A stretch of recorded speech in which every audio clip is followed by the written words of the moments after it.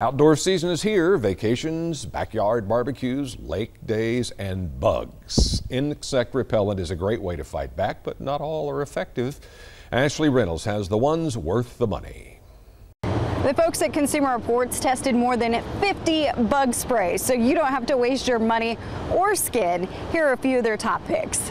How does sticking your arm in a cage filled with hundreds of hungry mosquitoes sound? That's exactly what Consumer Reports says brave volunteers do. A standard dose of repellent is applied to test subjects' arms. After 30 minutes, they stick their arms into cages of 200 disease free mosquitoes for five minutes, and testers count every time a mosquito lands on their arm or bites. The process is then repeated until the repellent fails or until eight hours has passed. A repellent fails our test if a mosquito bites twice in one five minute session or if there's one bite in each of two consecutive five minute sessions. Now, while those mosquitoes in these tests are disease free, the ones you'll encounter might not be.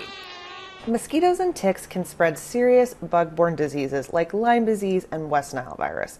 And using an effective insect repellent is one really good way of reducing your risk of contracting those diseases. Consumer Reports tests found that many of the most effective repellents in fighting against mosquitoes and ticks contained 25 to 30% DEET as its active ingredient. Two repellents Consumer Reports recommends 3M Ultrathon Insect Repellent 8 and Ben's Tick and Insect Repellent Wilderness Formula Pump. Both excelled in protection. Properly applying the repellent is just as important as the kind you use. Follow directions on the label. Use a thin coat on all exposed skin. You can also spray on top of your clothes, but do not apply under your clothing. If you don't want DEET, no problem. The experts at Consumer Reports recommend a few others. Just head to this story on our news app. For On Your Side, I'm Ashley Reynolds.